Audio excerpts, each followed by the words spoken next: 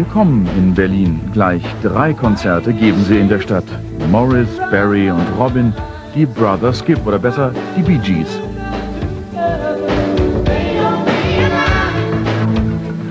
Und immer auf den Spuren der drei Weltstars die ganz, ganz treuen Fans, quasi mit auf Tournee. Frankfurt, Köln, Kiel, mal so 200 Fotos sind schon zusammengekommen. Und wie viele Autogramme? Immer, die, immer das gleiche? Na, sie unterschreiben jedes Mal anders. Kommt drauf an, wie die Laune. Aber Sie sammeln immer wieder. Immer wieder. Wie viele Unterschriften haben Sie denn schon von den Bee Gees? Zählen wir nicht mehr.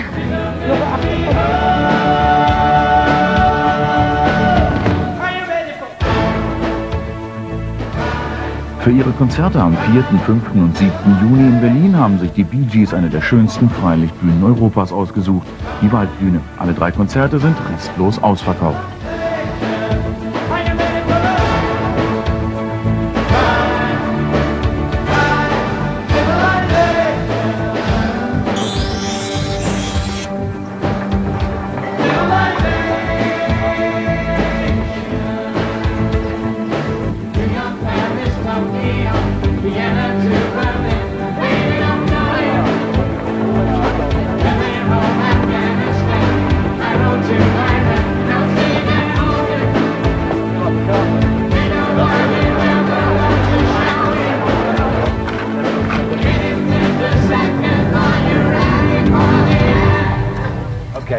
Leave it for about 10 minutes.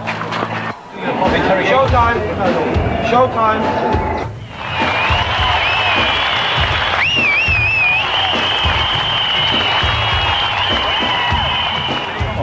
Private tunnel which we will enter. Für Kameras sonst absolutes Tabu die letzten Minuten vor dem Auftritt. Dieser Tunnel führt zur Bühne und am Ende warten 20.000 Fans. This very moment in time that one gets a chance to perhaps reflect, reflect on things past and things things being potentially facing you, coming up in the not too distant future. followed by a sort of deep sort of sick feeling in the stomach. A deep rumbling. Smile, You're on TV. Das haben sie immer drauf, wenn eine Kamera in der Nähe ist. Die Gebrüder Gibb, absolute Vollprofis. Seit 25 Jahren sind sie im Geschäft und da ist es auch noch Sekunden vor dem Auftritt drin, ein paar Faxen zu machen. Aber dann müssen sie raus.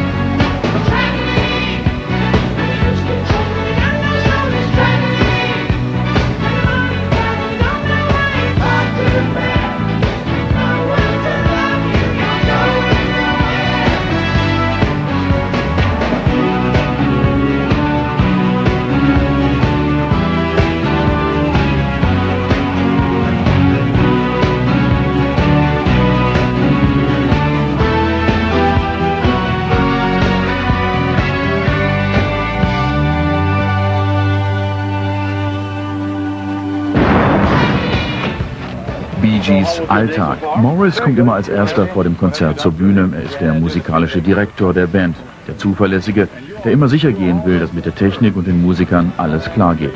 Ein sehr freundlicher, umgänglicher Typ, ohne jegliche Allüren.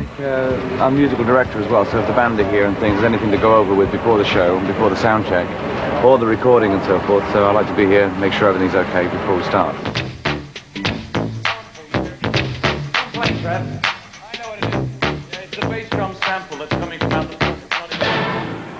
Die Band und ihre Crew. Dieser Gitarrentechniker ist allein für Barrys Instrumente verantwortlich. I'm a technician when I have clean hands and I'm a roadie when I have dirty hands. Als Techniker habe er saubere Hände, als Roadie dreckige, meint er. This is my first tour with them. Dieses ist seine erste Tour mit den Bee Gees. Aber die Tour sei toll und mit den Gebrüdern Gibb käme man ganz prima zurecht. Es sei eine fröhliche Truppe. This, this, this band seemed to be very easy. They're all nice, easygoing guys. Im and Bühnenbereich, also Backstage, kommt ohne Pass keiner rein. Aber nicht alle Pässe sind gleich gut und überall gültig, erklärt dieser Techniker. Ein grüner Pass und du bist nicht so wichtig. Ein blauer und du bist ganz wichtig. Dann darfst du auch mit den Bee Gees reden. Pass. So, go get yourself a blue pass and you'll be in. I'm like a guardian angel, you see. Den begehrten Blauen hat natürlich der Leibwächter der Gebrüder, ein Pole. Uh, Seit vielen Jahren begleitet er die Gibbs und ihre Familien auf Tour und für ihn sind es die nettesten Leute, für die er je gearbeitet hat. you know, in my in my career, and I like work for many people before. So, and I must say they're the best. Thank you very, very much, everybody. Good evening. Welcome. Thank you for coming to see us. Didn't realize there's going to be quite so many, but, but very happy to see all of you. This is, here's a song out of our past. One of uh, the records that Robin made as a solo artist. We hope you like it. It's called Juliet.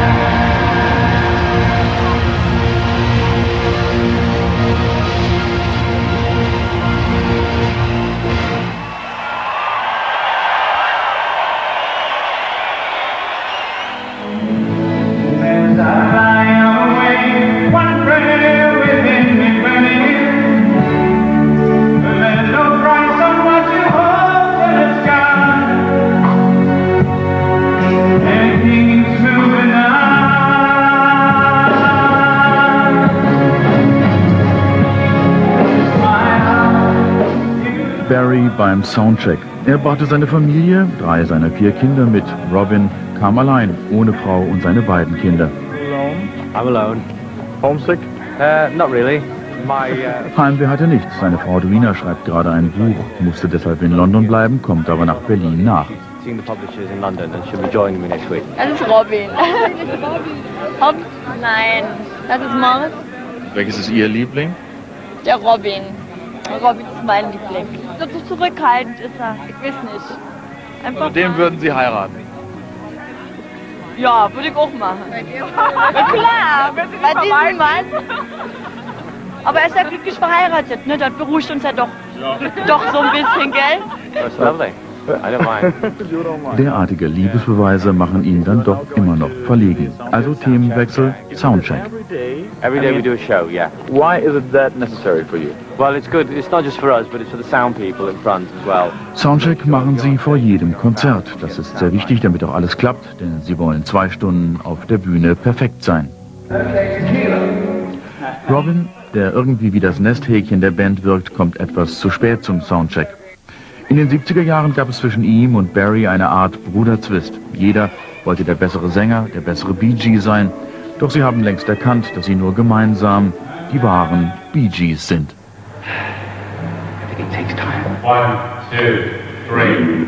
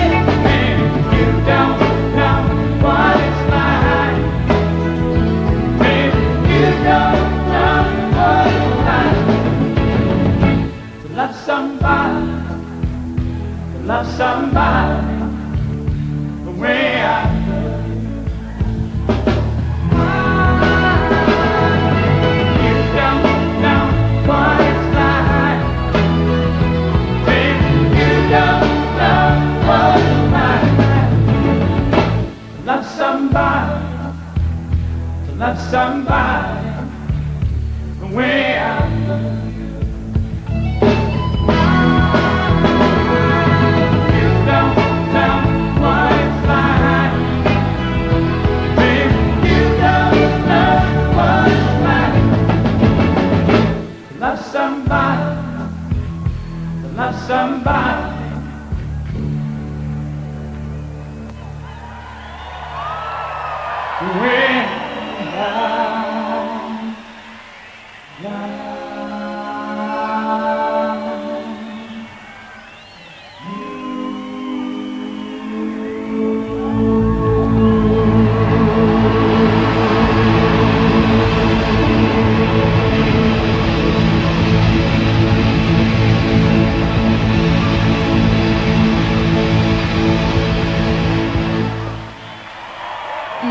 Fan seit 24 Jahren bereits von den Bee Gees. Also die erste Liebe wurde begleitet von den Bee Gees bei mir und äh, ich bin heute noch ein Fan. In erster Linie von der Musik, finde auch, dass ein sehr weites äh, Spektrum abdecken. Ne? Und ähm, bin auch aus Frankfurt jetzt gekommen und be begleite alle Tourneen hier in Deutschland und noch ein paar im Ausland auch. Bin ganz happy. I, I come from Hong Kong. I don't have many Sie kam extra aus Hongkong und begleitet die Band durch Deutschland. Und das macht zusammen mit den Konzertkarten rund 7000 US-Dollar. Das ist eben wahre Bee Gees Begeisterung. Yes, right. I, I like them for over 20 years. Mhm.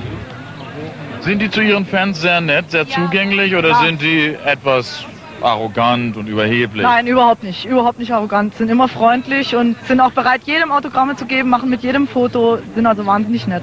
The guys themselves, they're just so down to earth, you know. They, Die Bee Gees seien eben mit beiden Beinen am Boden geblieben, meint dieser englische Fan. Benehmen sich nicht wie Superstars und behandeln ihre Fans wie normale Mitmenschen. Direkt im Heiligtum, backstage bei den Bee Gees. Eine Fandelegation aus Polen schenkt Barry einen Löwen. Thank you. Sekunden, die dieses Mädchen wohl ihr Leben lang nicht vergessen wird. Der Kontakt zu ihren Fans scheint den Gebrüdern Gibb tatsächlich sehr wichtig zu sein. You know, um, these are people that have followed our music for many, many years. Die Fans sind für uns wie Freunde, meint Barry. Sie hören unsere Musik seit vielen Jahren. Manche wollen 20 bis 30 Platten persönlich signiert haben. Wir tun's gern. Das ist nicht Teil unseres Jobs, sondern es macht uns Spaß. Uh, we make a point of seeing them, but that's not that's not work. You know, that's fun. But uh, when we don't get a chance to pick up the gifts that are given to us on stage, Geschenke, wie dieser Teddy, die ihnen auf der Bühne zugeworfen werden, spenden die Gibbs gewöhnlicherweise Kinderkrankenhäusern. Aber was wir persönlich bekommen, versichert Barry, behalten wir auch.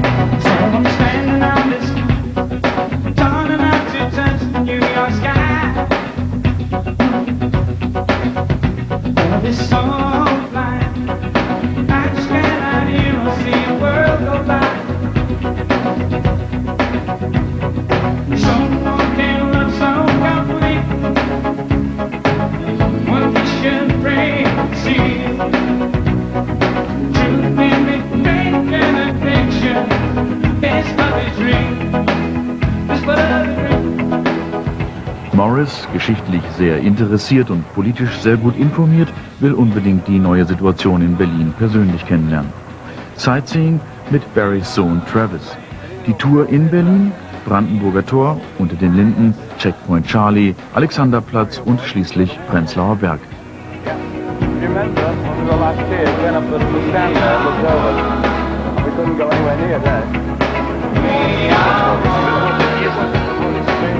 You to the stand little one, very small car. Yeah. Someone was coming here. Yeah. Thank you. Perfect. Haben Sie eine Ahnung, wer der Mann ist? Ja, ist einer von den Bee Gees. Und kennen Sie die Musik der Bee Gees? Kenn ich auch, ja. Ja? Und finden Sie die gut? Finde ich gut. Great. Thank you.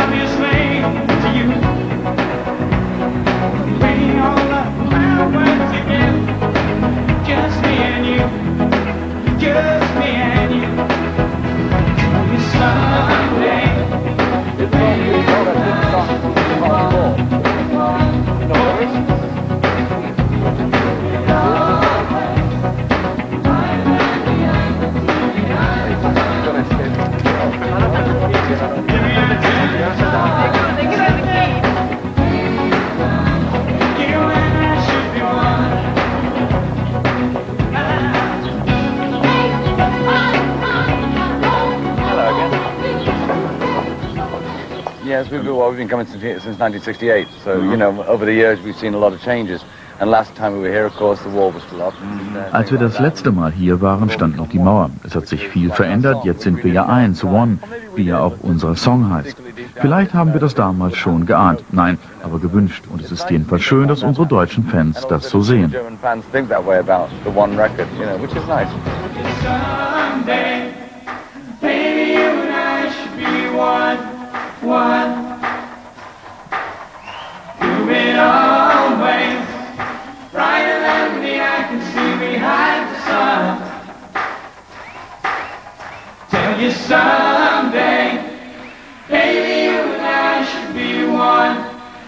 one.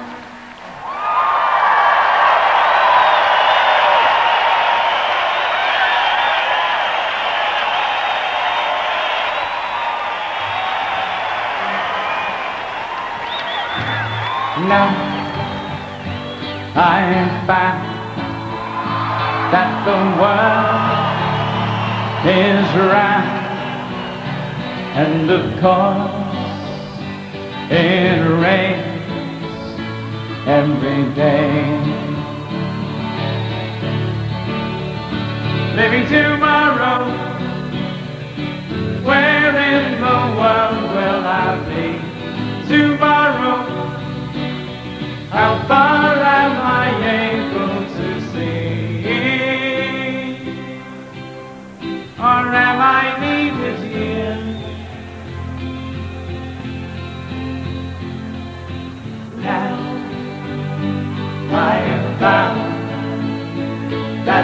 world is round and the gods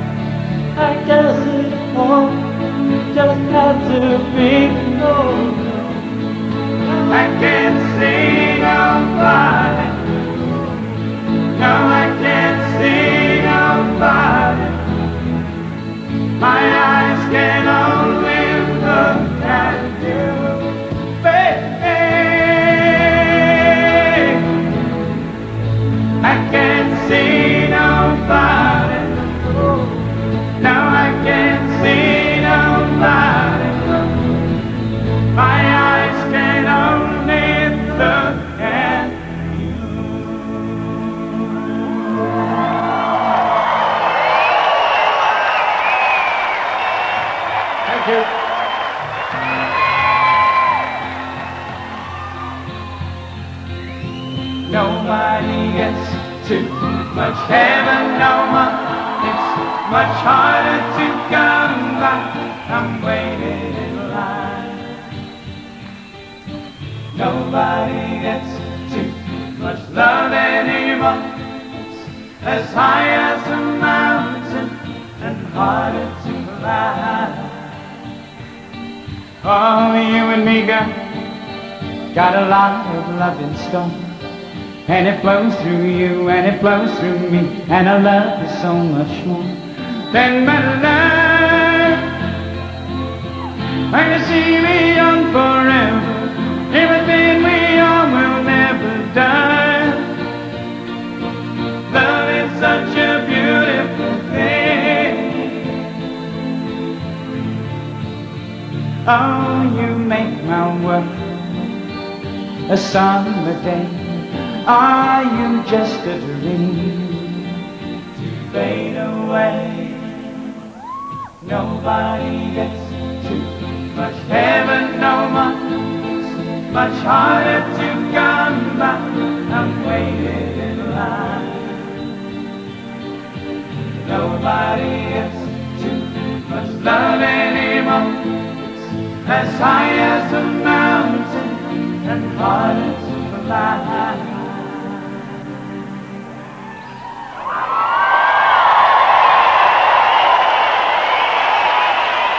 Idea of the impact, the strong support that they had over in Europe. Mhm. I had no idea. This is the biggest, most Für. Crystal Talabero, die Background-Sängerin, ist diese Tour das Größte. Sie war völlig überrascht von der Popularität der Bee Gees in Europa. Very. You didn't expect that? No, I've never seen it before. So etwas hat sie dann doch noch nicht gesehen. Die Begeisterung hat sie überwältigt und dass die Leute alle Songs mitsingen, vom Anfang bis zum Ende.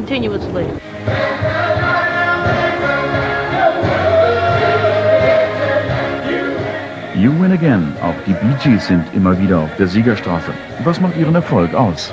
We're not out to be like anybody else or try to sing like anybody else or do anybody else's Wir machen keinen und nichts nach, sondern unsere eigene Musik, meint Morris. Nichts anderes haben wir unser ganzes Leben gemacht. Wir machen es gern und wahrscheinlich immer weiter. It's all about. We love doing it. It's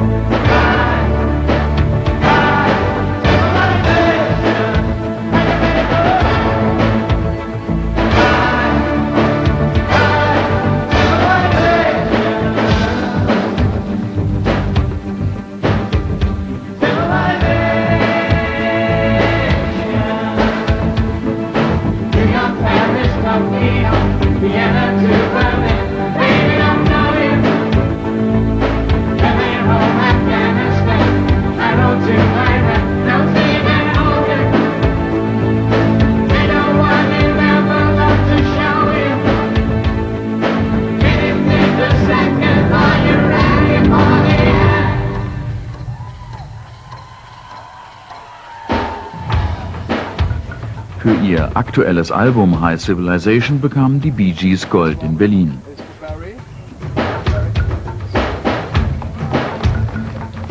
Kleine Feierstunde kurz vor dem zweiten Konzert Backstage.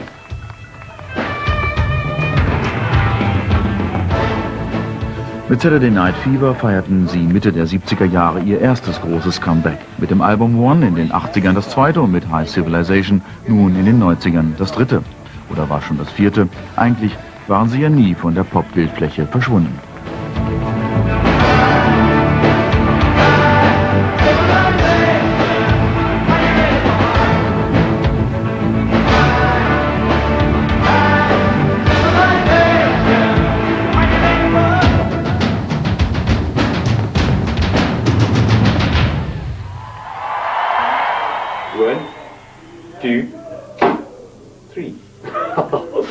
Morris liebt Illusionen. Im einzigen Kinderstar steckt eben noch ein Kind. Hier in die Garderobe der Bee Gees kommen sonst nur die engsten Betreuer, die Freunde und die Familie. Um sich auch unterwegs etwas zu Hause zu fühlen, nehmen die Gebrüder diese Einrichtung überall mit hin. These toilets, I mean, boy, when they flush, are they loud. Listen to this. Morris, der verspielte Typ, hat großen Spaß an der deutschen Toilettenspülung. Für Eddie, das Mädchen für alles, sind die Bee Gees eine Art zweite Familie. Is in diesem Koffer landen die Teddys und die vielen glühenden Liebesbriefe. Hier liegen auch die begehrten Autogrammkarten. The signed ones, the unsigned ones. That's enough, Eddie. Don't spoil them. Okay. He's funny. it's really funny. And he's funny. Humor haben Morris und Robin, vielleicht weil sie Zwillinge sind und doch so unterschiedliche. Robin, der zarte, zurückhaltende, lebt makrobiotisch. Morris, der Entertainer und Spaßvogel dagegen, steht eher auf Hausmannskost. Hi there, good evening and welcome to John's Kitchen. Übrigens, ihren Koch nehmen die Bee Gees überall mit hin. Und bei Johns Eiscreme wird auch Robin schwach. Goodbye, makrobiotische Diät. And explore the avenues of junk. After, me this raving about it. Yeah. Right. Thank you very much.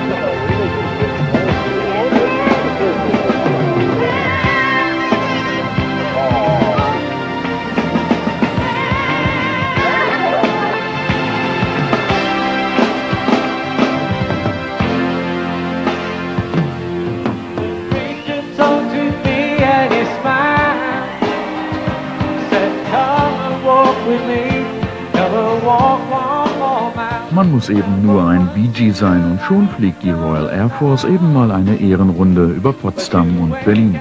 Und die Radioleute vom britischen Soldatensender BFBS funken gleich ein Interview mit Morris live aus dem Helikopter in den Äther. Hold on. Ah!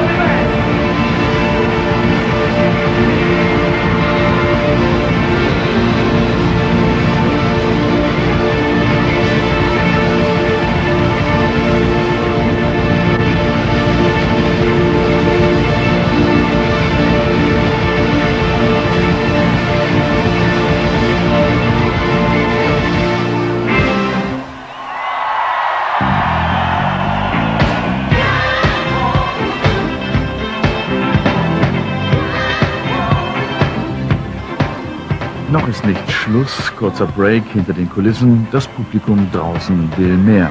Barry, der Perfektionist, der Anspruchsvolle, ist zufrieden. Der älteste der Brüder, sonst eher zurückgezogen und ernst, wirkt richtig ausgelassen. Sie machen den Sound der Gebrüder komplett, die Band der Bee Gees. Das sind Keyboarder Rudy Dobson, die Gitarristen Alan Campbell und Tim Cansfield, der Bassist Chocolate Perry, Backing Girl Patty Peterson und Keyboarder Tim Moore. Schlagzeuger Trevor Morell ist bereits wieder draußen auf der Bühne. So, und jetzt raus zur Zugabe, aber halt, Barry steckt noch im Ärmel. Er will seinen Berliner Fans natürlich sein neues Deutschland-T-Shirt vorführen. Also dann, the show must go on. You should be dancing.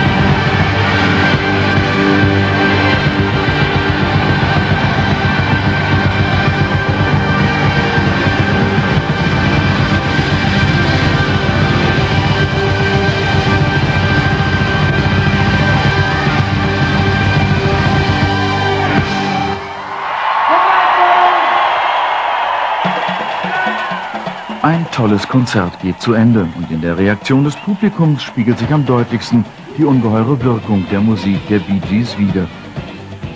Die Gebrüder Gibb eine Poplegende. Musiker, die ihren ganz eigenen, unverwechselbaren Stil entwickelt und gehalten haben. Diese oft als Eunuchenchor abqualifizierten Brüder konnten mit dieser Tour zeigen, dass ihr musikalisches Spektrum weit gefasst ist, dass sie über musikalische Kraft und Kreativität verfügen. Immer noch nach so vielen Karrierejahren. Ihre Musik ist keine Frage des Alters, nicht bei den Bee Gees selbst und auch nicht bei ihren Fans. Die drei genießen sichtlich ihren Erfolg. Auf drei Konzerten in Berlin wurden sie von jeweils über 20.000 Fans gefeiert.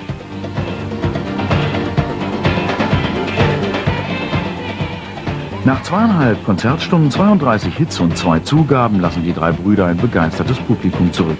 Es war ein Abend mit einer Musik, die an die erste Liebe und an viele gute Zeiten erinnerte.